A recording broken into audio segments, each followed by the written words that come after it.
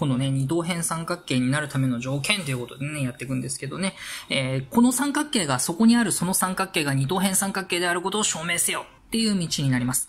ってことはね、二つの辺が等しいので、または二つの角が等しいので、この三角形は二等辺三角形であるっていう風に言えれば OK です。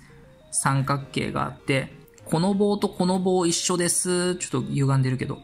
または、この角とこの角一緒です。は、この結末かこの結末に持っていければ、これはもう絶対、どっちであっても。こっちかこっちか。どっちか通れれば、もうこいつはその三角形は二等辺三角形だっていう風に証明できますからね。なんとかそれに持っていこうっていうルートになります。よく出てくるのがこういうパターン。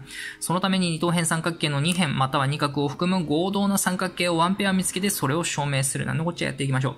三角形 ABC は二等辺三角形。このでっかい ABC は二等辺三角形なんだって。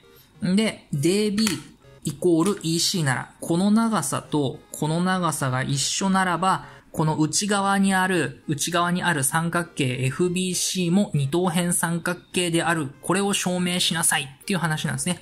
外側のこれは二等辺三角形確定。この内側にいるこの FBC も二等辺三角形であることを証明しなさい。DB と EC は同じだよって手がかりは与えられてます。うーん。なんとなくここの角度とここの角度が一緒だから二等辺三角形はダメです。FB と FC の長さが一緒だから二等辺三角形。かもしんないけど、ちゃんとそれをね、証明していかないといけません。なんでと。っていう時は、まずはね、この ABC が二等辺三角形だってことは、AB の長さと AC の長さが同じ。だって二等辺三角形の性質よりってやつですね。それからさらに、この ABC が二等辺三角形だから、各 ABC、こいつと、青で書いてみる。各 ABC と各 ABC と各 ACB は同じ角度だぞと。ちょっと黒と青で色微妙に分けてるんですけどね、同じですよ。それから家庭よりこことここも一緒。こっち青でこっち黒で分けさせてもらってます。で、だから何と。これ DBC っていう三角形と ECB っていう三角形が合同だっていうのを証明したいんですよ。なんでかわかるかな？各 DBC と各 ECB がぴったり重なる合同だって証明できれば、ここの角度とここの角度一緒だよね。対応する角は等しいから。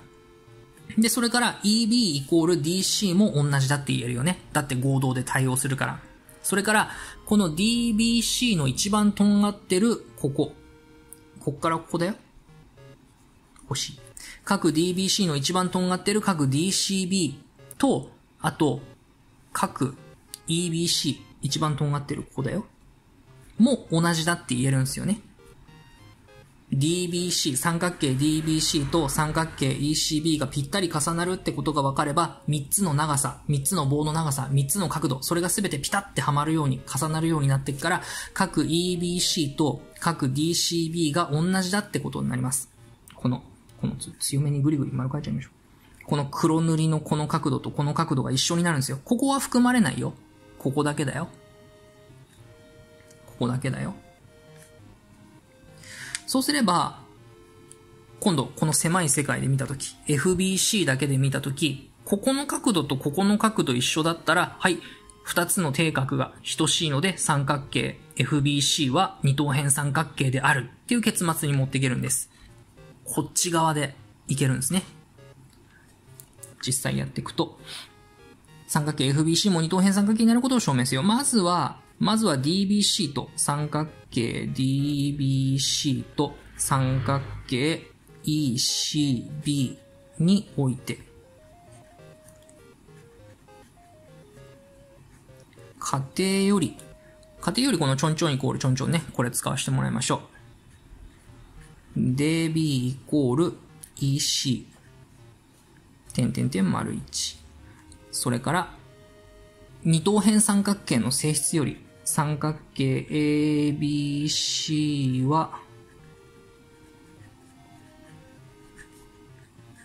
二等辺三角形なので、ちょっとね、サラサラっと書いちゃって汚い字で失礼。えー、三角形 ABC は二等辺三角形なんで何が言いたかったんだっけ？角 ABC イコール角 ACB 点点点丸2。今ね、この DBC と各 ECB が合同だっていうのを証明したいんです。で、よく見たら BC と CB、これ一人二役共通な辺言ってますよね。BC イコール CB。まあ、共通。やべ。共通な辺なので BC イコール CB 点点点丸3。で、丸1、丸2、丸3より、長さ、長さ、角度。で、こっち行きます。よいしょ。二組の辺と、ね、だって長さ長さと間の角度なんでね。二組の辺と、その、間の角が、それぞれ等しいので、三角形、さっきのここで出したね、三角形 DBC 合同ですよ。三角形 ECB かけるんですね。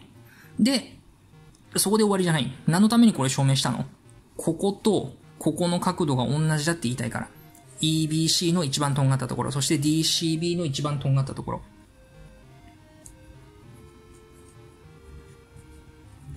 合同な図形の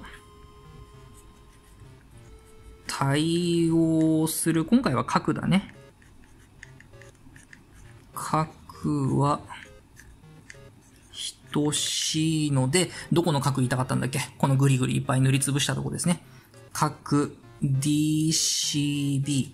この三角形にとってのこの角度。イコール、この三角形にとってのこの角度。角 EBC。うん。で、三角形 FBC で、三角形 FBC で、この二つの角が等しいので、三角形 FBC で今言ったこことここが同じなんで、三角形 FBC は二等辺三角形であるっていう風に証明できます。ちょっとなかなか大変な道なんですけどね。結構この二等辺三角形の中で二等辺三角形を証明せよ。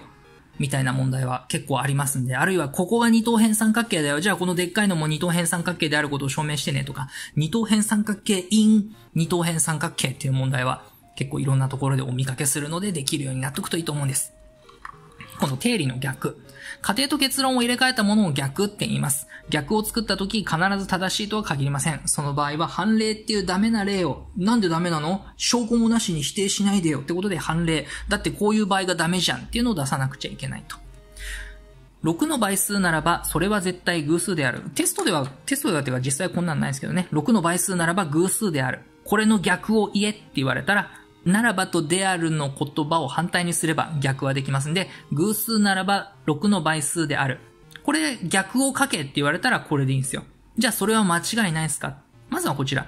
6の倍数だったら6とか12とか18、それは絶対偶数である。これは間違いないですよね。6も12も18もちゃんと偶数だ。じゃあ、反対にしたもの。偶数だったら、それは絶対6の倍数である。偶数だったら絶対それは6の倍数になる。ちょっと待て。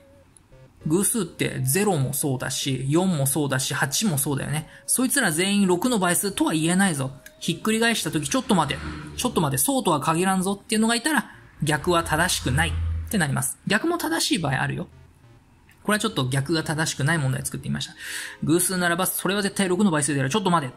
そうはいかんぞ。例えば、なんで？ダメ、なんでダメなの？証拠出してよ。いや、だって判例4とか2とかそういうのがあるじゃん。っていうのをちゃんとセットで答えることが多いです。逆を言え。そして逆がもし正しくないなら反例を言え。っていう問題よく出てきますね。逆を書くのはこちらを、2行目をまんま書けばいい。で、反例っていうのは、じゃあなんでダメなの？例えば何がダメなの？こういうのがダメ。っていう風に行きましょう。本当にそうかって騙されない力を問う問題です。ね、数学ってね、結構騙されないために学ぶ勉強でもあったりします。ね、騙されないようになってください。